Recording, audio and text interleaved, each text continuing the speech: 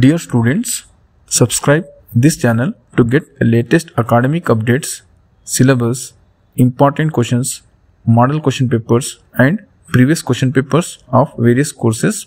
Dear students, in this video I am sharing BSc 4th semester subject Biotechnology important questions. On screen you can see unit wise short and long questions.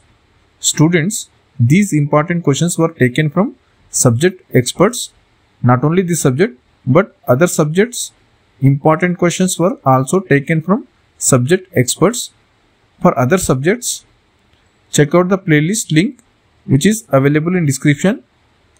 All the best students for your upcoming exams.